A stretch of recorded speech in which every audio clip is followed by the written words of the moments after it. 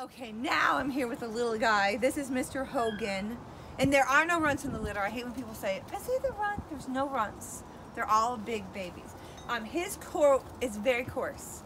So he's going to be a very chill out dude. He is. In fact, we, we've called him a beach bum or surfer dude or whatever. He's got amazing balance. He actually does really, really well with our yoga.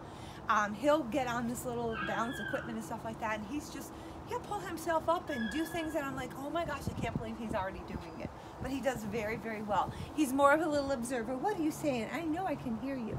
Uh, more of an observer. So he kind of watches everybody and watches what they do and do I want to get in or do I not?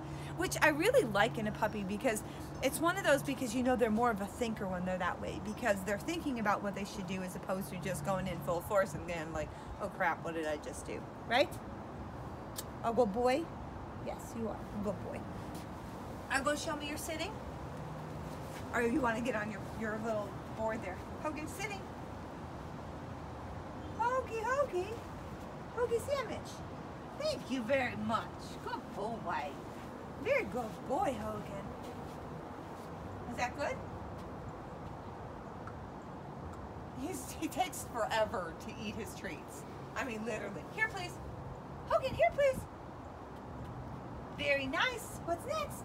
Good boy. Very good boy. But you can see he's just like real soft and real mild mannered. Um, it's funny because all the boys are this time.